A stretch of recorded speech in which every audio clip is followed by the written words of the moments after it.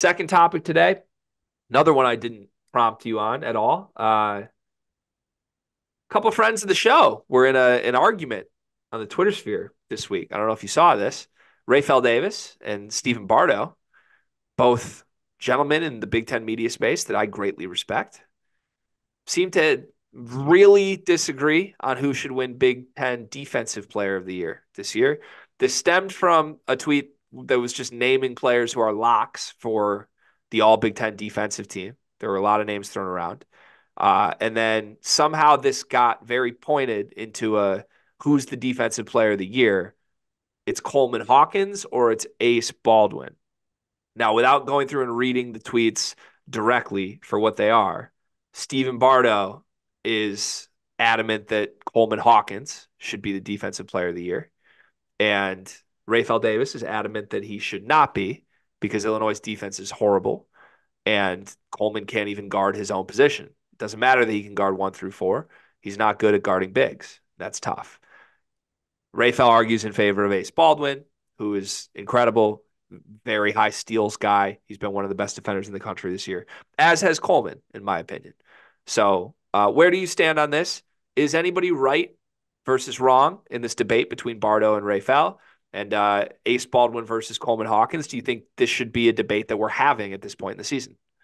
Um. So, uh, one, this thing is very opinionated as far as kind of what people look for in defense and things like that. Like you could look at the stats, the steals, and things like that. But for me, I lean to the side of Rapheal on this. I just have a hard time picking Coleman as a defensive player of the year when their defense is awful. Um, and he does have, and he has had games where five positions have kind of abused him throughout the season. Um, and when I'm looking at who is the Big Ten Defensive Player of the Year, I do like to look at like what, like how does how does that player affect the team's defense? So if Coleman was as good a defender as he is, I think Illinois would be better defensively than they are.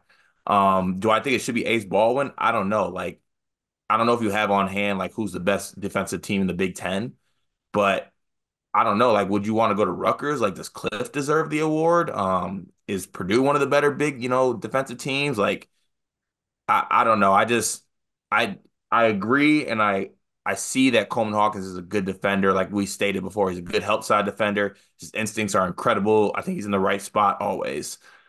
But I just have a hard time picking a guy who is one on a bad defensive team and two, you know, um, has a hard time guarding his own position one on one.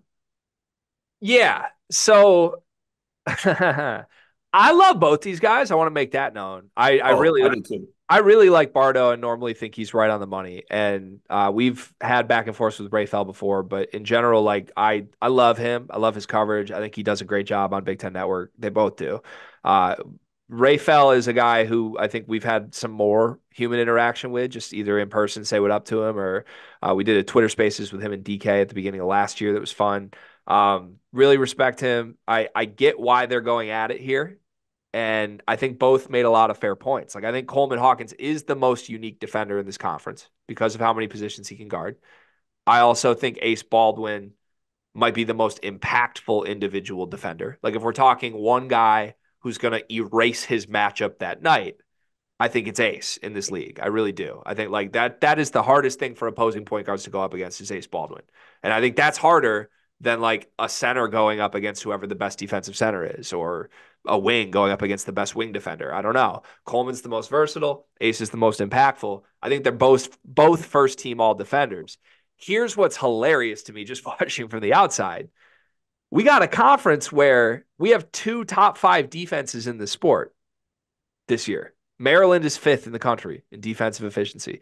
Rutgers is fourth in the country in defensive efficiency. Michigan State, 16th in the country in defensive efficiency. Purdue, 21st in the country in defensive efficiency. Nebraska, 33rd in the country in defensive efficiency. Wisconsin, 46th in the country in defensive efficiency. You'll notice that I'm halfway through the league right now, and I haven't gotten to either of the two teams that these guys are camping for being the best defender in the league. Like there, there are some legitimately great defenses in this league this year, and neither of them are Penn State or Illinois. So if you're making the argument like I think it was Rafe who was like you can't argue for Coleman being the best defender in this league with how bad their defense is.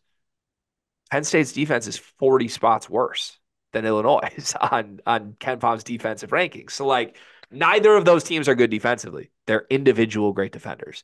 And I don't like if I'm rewarding the very best, if I'm hand selecting from whoever the pool of five guys are at the end of the day, it's not either of them. And I don't know who the other others will be, so I'm not even going to give you a name necessarily.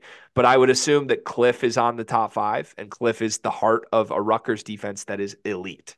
I think uh, we've seen Mawot Mag, how critical he is defensively when he's in the game. I think he would warrant being on that list. I think both of those guys make more sense as the best defender in this conference than either Coleman or Ace. Um, I think Maryland deserves some credit, and I don't know. Jahmir Young definitely definitely deserves a shot if we're talking about point guards. Yeah, and and I don't know, I don't know that there is one guy on Maryland that I would single out as like the best defender. I think uh Jahmir Young is a pest. I think DeShawn Harris Smith, as much as we've made fun of him offensively, has done a really, really great job defensively this year. I think Julian Reese is pretty damn good defensively. So like you're not going to say any of those guys individually are the best defender in the league, but they're all more deserving to me than either Coleman or um, Ace would be. And if we really want to have that conversation, I think there's a better argument that Zach Edey's the defensive player of the year than there is for Coleman or Ace. Yeah, I agree.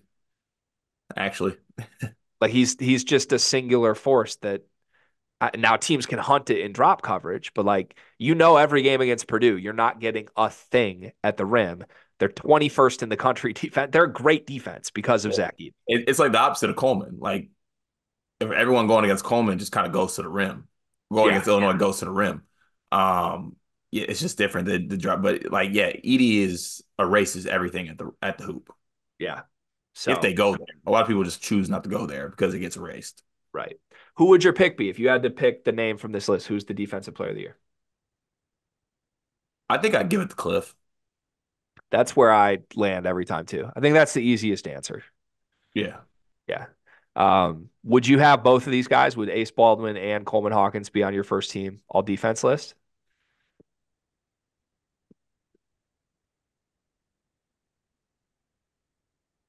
Yeah, I think so. You hesitated a little bit. Give me the five. Who's the five on Carter? I was, going through, I was going through it in my head. Um, because I don't want like I if if I want to do this like truthfully, I think I'd have like four bigs and one guard. That's fine. Okay, I think I'd go Cliff Edey, Cliff Edey Coleman. Mm, maybe not four bigs. Uh, Ace Baldwin and Jahmir Young. I'm gonna say I think Ace and Jahmir have to both be there. And that way yeah. you have you have Rutgers representation, you have Purdue representation, you have Maryland representation. Those are the three best defenses in the league. The only uh well actually I, they're not the three best defense in the league. Michigan State is ranked higher defensively than Purdue is. So you could put somebody from Michigan State in. The problem is I don't know who it would be. I do I tend to agree with you that Tyson is your best perimeter defender, but I don't think Tyson has been one of the top 5 defenders in the league individually. Yeah.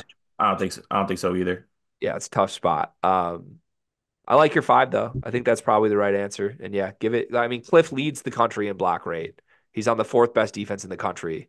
We don't really need to overthink that he's not the best defender in this league because Coleman sometimes switches on to point guards and because Ace Baldwin forces steals in a pressure defense that is designed to force steals. Like, yeah, just a little, little much. It's, it's, it's easier than we think. Yeah. Okay.